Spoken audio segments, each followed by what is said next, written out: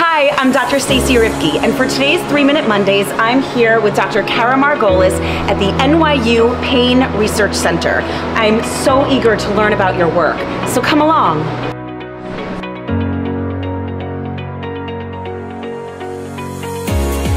I came to the NYU Pain Research Center last year because of my deep interest in pain. I'm actually a pediatric gastroenterologist, and the expertise I have is in something called disorders of gut brain interaction, of which abdominal pain is a major component. I have continued to see large numbers of children who really suffer from interminable pain and often feel helpless to treat these kids and their families who are in a lot of distress. And that really drove my decision to come to the NYU Pain Research Center to really help try to find novel therapies for abdominal pain conditions.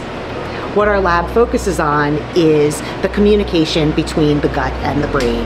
The gut and the brain communicate in both directions 24 hours a day, seven days a week. And it's really important that that communication is functional because if it's not, things like pain disorders and also mood disorders like depression and anxiety develop. And what we often see in patients is that not only do they have abdominal pain, but they often have depression or anxiety.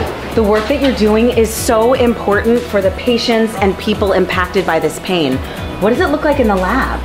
Yeah, I think before we even bring it to patients, it's so important that we're actually able to look at the basics. So let me come show you. Most of the body's serotonin is produced in the gut, and we're finding that it has a big role in pain signaling and abdominal pain.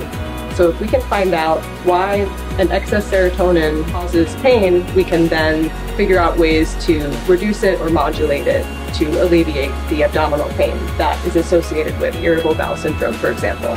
So I think it's incredibly important to be able to translate what we find in our basic studies to really directly benefit patients. And in line with this, we have several clinical studies which are focused on defining environmental factors that actually impact the outcome of abdominal pain related disorders. Specifically, we're looking at how maternal depression, maternal antidepressant use, and maternal trauma connect to outcomes in kids and do they perhaps increase the propensity for children to develop not only abdominal pain related disorders but also anxiety and depression.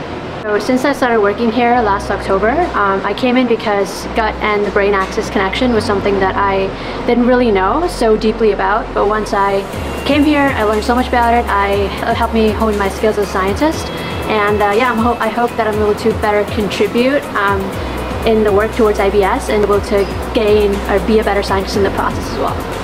I'm very excited to learn a lot here.